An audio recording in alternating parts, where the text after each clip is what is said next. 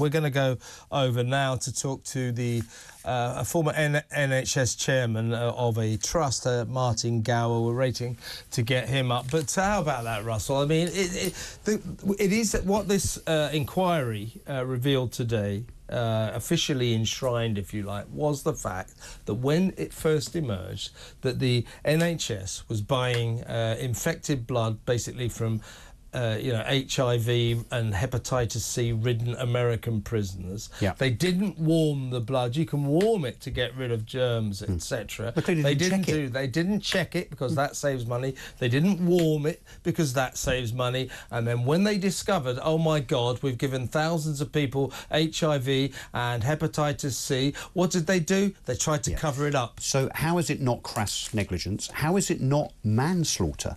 I mean, I know that sounds dramatic, but 3,000 people have died of the 30,000 people that were infected through this negligence. So surely there needs to be some accountability on an individual basis. I know some of this goes back to the 60s, 70s, and 80s, but there needs to be accountability in exactly the same way, to perhaps a slightly lesser level, although people still lost their lives, uh, with regard to the post office scandal. You know, Gary's point just now about, you know, will we ever get the compensation? The people in that similar scandal have also been waiting years, if not decades, for recompense. Um, the NHS they do not learn. Um, there's a wonderful book by a guy called Matthew Syed, who's um, an ex-BBC guy, called Black Box Thinking, and most of it is about how the NHS, Times columnist, yeah, the NHS yeah. do not learn from their mistakes, and then guess what happens, Kev? As yeah. a consequence, the same mistakes keep getting made time and time again, which is why every year the NHS are sued for about six billion pounds in negligence. They do not learn. Uh, they do not, and uh, we're going to talk now to a guy who I suspect may have seen uh, one or two NHS howlers in his time. Not that it doesn't have its great moments, the NHS. Don't get me wrong, but we're talking about one of its. Well, no, we're talking about its lowest moment. There's not one of its lowest moments. This is its lowest moment. Uh, so, a warm welcome to former NHS tr Trust Chair Martin Gower. Hello, Martin. Hi, Kevin. Uh, nice to I, see you. Great to have you on board. What I'd like to ask you uh, is about the NHS. Now, only recently we were shocked uh, during the Lucy Letby trial to discover the lengths that the NHS went to, that that hospital up in Chester went to, uh, to cover up what was going on to cover up the truth. The first instinct, not for the safety of the babies, the appalling fate of the ba babies, but for the reputation of the NHS. And now we learn that uh, during the uh, early days of the infected blood scandal, uh, for some time, uh, what was going on was a massive, great cover up to try and make sure that the public di didn't find out what had happened. Uh, we have to get this out of the NHS, this kind of culture culture of secrecy. Only at the weekend, the Health Secretary Victoria Atkins said uh, the NHS's cult of secrecy must end. Uh, we heard last week that whistleblowers, when they go and say babies are dying, infected blood people are being infected, you know, that their, their, their, their careers are ruined. We've got to clean up the NHS in this respect, haven't we?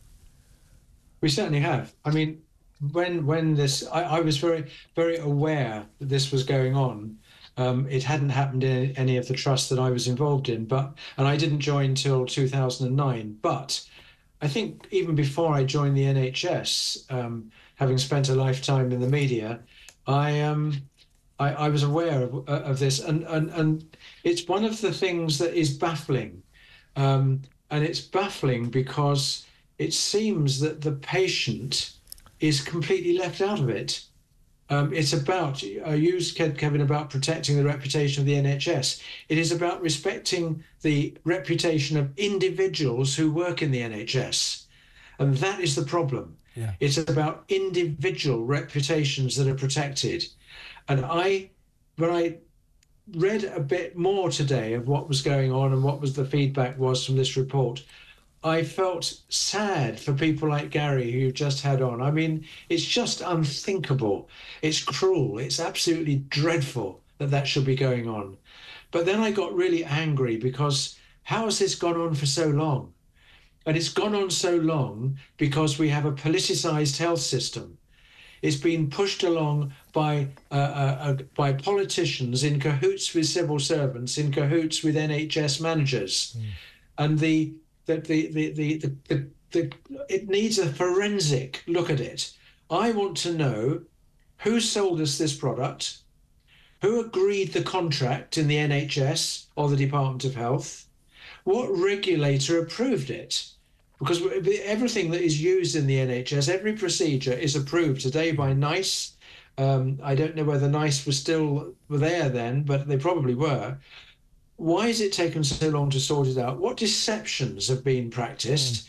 And I think, as Russell said, uh, this is worthy of criminal investigation. Yeah, I was going to ask you that. I'm going to have to move on, Martin, but uh, that is my last question. You know, one word answer. People, uh, as they usually say in the uh, NHS, deputy heads will roll, but this time heads need to roll. The people responsible for this travesty, I do believe, even after all these years, must face justice. Do you agree? Absolutely. Thank you very much, yes. Martin. Let's get you on again soon. Great to talk to you. That